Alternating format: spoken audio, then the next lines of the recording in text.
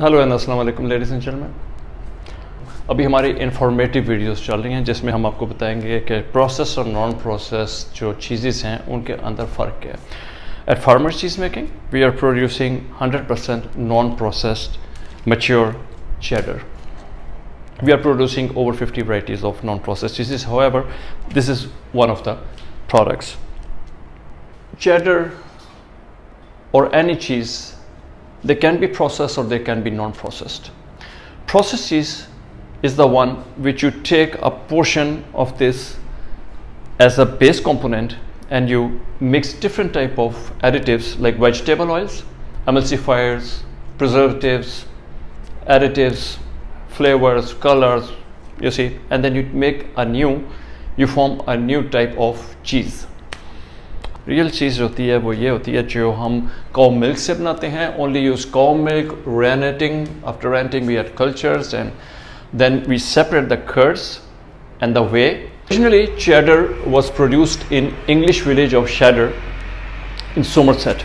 So वहाँ से ये चीज़ चली थी and it goes way back in twelfth century तो आप अंदाज़ा लगाएँ कि ट्वेल्थ सेंचुरी से चैडर खाई जा रही है and it's one of the most loving and one of the most best selling cheeses in the world now इसकी प्रोडक्शन के अंदर हम कर्ज और वे को सेपरेट कर देते हैं। फिर इसके जो कर्ज होते हैं, जो कैसिन होते हैं, उसको हम लोग चैडरिंग प्रोसेस में से गुजरते हैं। We make a heap of that and then we knead it into the salt and we cut them into the cubes और उन क्यूब्स को फिर एक ब्लॉक सा बन जाता है, उसको हम चैडरिंग प्रोसेस में से गुजरते हैं। ये प्रोसेस सिर्फ़ इंग्लैंड वगैरह में होता है। इधर बाकी जिस बहुत सारे मुल्कों में नहीं होता वो फार्म स्टेट चैडर वगैरह बनाते हैं। फिर उसमें से एक पोर्शन लेते हैं। उसमें से एक पोर्शन लेके उसमें फिर एडिटिव बनाकर और उसको एक सस्ती चीज़ इन्फीरियर क्वालिटी जो कि प्राइस वाइज भी काफ़ी लो होती है वो मार्केट में आप लोग जाते हैं। और मोस्ट ऑफ़ द टाइम ये जो आप स्लाइसिस वगैरह चैडर के लेते हैं ये वही प्रोसेस चीज़ वगैरह होते हैं। तो आ,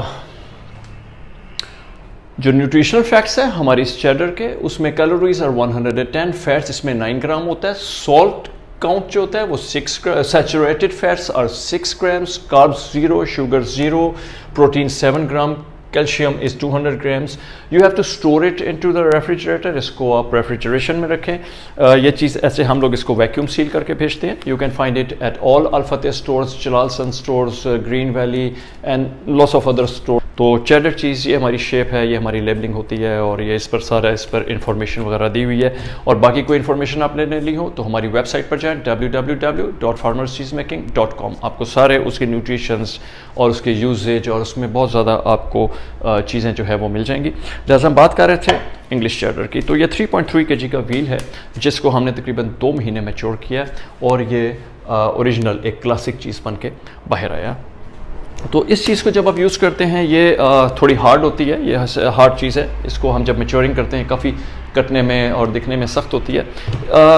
You can eat it on its own you can eat it with fruits you can eat it with uh, salads you can eat it with different type of pairings. It's one of the most wonderful sauces in the world. जो बेहतरीन sauce बनती हैं pasta Mac and cheese और uh, जो even you can use it an extra topping on pizza lasagne it has its own जो है globally इसकी demand four percent per year बढ़ रही है क्योंकि दुनिया फैल रही है अवेयरनेस बहुत ज़्यादा हो रही है चीज़ की अवेयरनेस पाकिस्तान में भी बहुत होती जा रही है दुनिया भर में ये बढ़ती जा रही है तो इट्स स्प्रेडिंग इट्स स्प्रेडिंग लेकिन अनफॉर्चुनेटली जो चीज़ आया करती थी, उसमें बहुत कम कोई आपको आर्टिजनल या कोई नॉन प्रोसेस चीज़ मिलती होगी। उनमें से 99 परसेंट जो है, वो प्रोसेस्ड होती हैं। Taste wise very good very nice लेकिन उसमें जब आप उसमें एडिटिव्स और उसमें प्रिजर्वेटिव्स वगैरह आ जाएँ तो ज़ाहिर उसकी केमिस्ट्री चेंज हो जाती है, उसकी जेनेरिक्स डिफरेंट हो जाते हैं।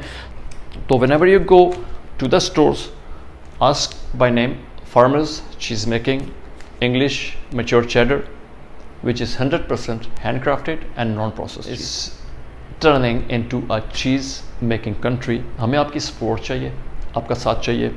हमारी चीज़ को प्रमोट करें हमारे वेबसाइट्स को प्रमोट करें हमारे पेजेस को प्रमोट करें हमारी यूट्यूब चैनल्स को प्रमोट करें। हम अवेयरनेस क्रिएट करने की कोशिश करें ताकि आप और आपकी फैमिलीज़ जो हैं वो अच्छी प्रोडक्ट्स खाएँ। इसलिए कि हमें अपने मुल्क से मोहब्बत है हमें आपसे मोहब्बत है। हम चाहते हैं हमारी नेशन जो है we love to make cheese we love you all we love Pakistan Pakistan पाइंडाबाद